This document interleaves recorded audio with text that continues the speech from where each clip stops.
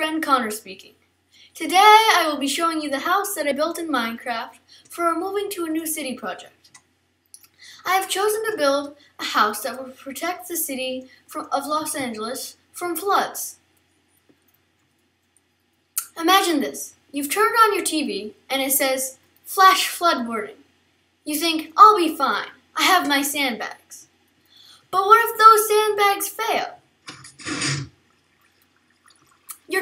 Right? Nope, because you have built your house like a smart person and you are protected by these stilts.